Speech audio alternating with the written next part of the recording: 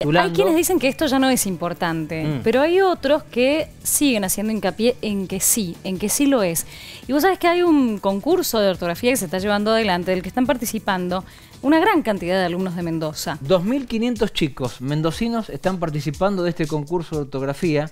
Lo importante que es para nuestros hijos aprender a escribir correctamente está valorado por docentes y por autoridades escolares porque permite a los chicos mejorar con esta práctica. Además, es fundamental la lectura permanente, sacar un ratito el celular a los chicos de la mano y leer mucho más los libros.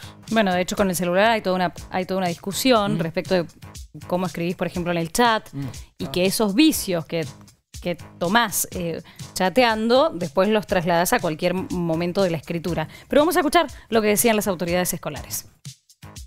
Verdad que este concurso es una de, las cosas que más me gusta del año, por, porque por de formación profesional, yo vengo de las letras, que se haga un concurso sobre eh, la ortografía, que se tome la ortografía, que esa cosa que parece tan arcaica, tan de otra época, y que cada año vayan participando más chicos de todos los departamentos, el enorme esfuerzo de los docentes para participar, después para trasladarse a Mendoza, para llegar, la verdad que está buenísimo, y es un concurso en el cual yo trato de venir a las premiaciones y participar porque, porque es extraordinario. Es decir, 2.500 eh, chicos eh, preocupados por eh, su ortografía, que tiene que ver con el orden, con hacer bien las cosas, con, con la prolijidad, con que no da lo mismo escribirlo. Y a veces nos equivocamos, ¿no? Con S o con C, etcétera. Me parece un, me parece un buen signo. Son signos culturales muy importantes. El concurso provincial de ortografía eh, con los chicos de secundaria, SENS y CEPJA.